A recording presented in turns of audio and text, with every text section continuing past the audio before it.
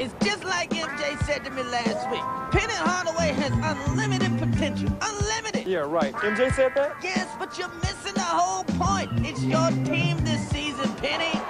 Your team. It's time for you to take your game to a whole nother level. When did you talk to Jordan? At my celebrity golf tournament, the Little Penny Classic. Uh, he kills me off the tee, but I get him on the green.